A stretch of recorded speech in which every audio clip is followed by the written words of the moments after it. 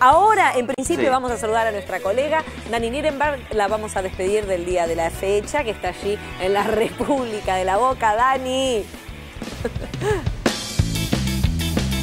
Yo me quise peinar para la despedida, pero con el viento aquí en la boca es imposible. A vos, señor, señora, si estás del otro lado, no salgas, porque la tormenta va y viene. En cualquier momento se larga, así que te recomiendo que te quedes hasta el final de Vivo en Argentina, disfrutando de toda la transmisión de la televisión pública.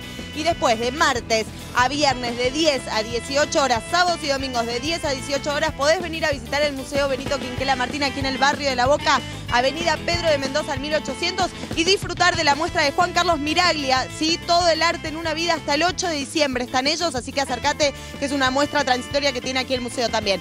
Nosotros nos estamos despidiendo, quédate en tu casa, hay mucho viento, se larga la lluvia en cualquier momento. Nos volvemos a encontrar mañana, como siempre, a las 2 de la tarde por la televisión pública. Un beso grande, chicos, hasta mañana.